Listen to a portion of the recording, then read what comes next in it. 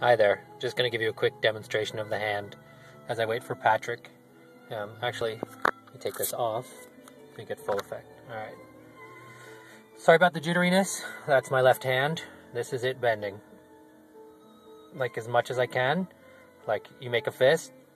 That's what it does. Uh, bending it is really like to there, maybe?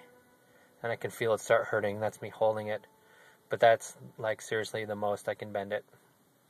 That right there. Pretty interesting looking, isn't it? Yeah. Anyway, good night.